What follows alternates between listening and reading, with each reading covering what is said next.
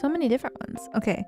So this is, I think this is like the supposed to be natural kind of, and your voice just becomes a little bit deeper. Mm. Is this me as an ikemen? All right.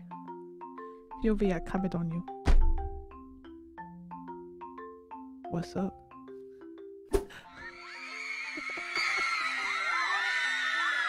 Kabedon, but it's a desk slam? No! That's me. That's me slamming my hand next to your ear, like this. Except you can hear my keyboard do a little clack. I don't know what to say. What what do people say when they kabedon someone? They're like something, something, something. I don't like this. I don't like this. I don't like it anymore.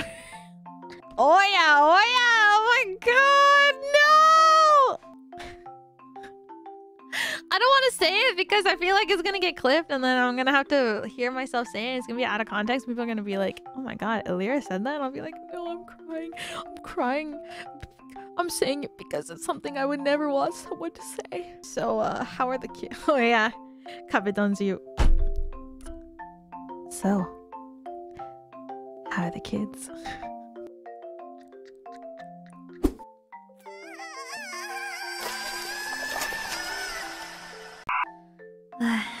so bad.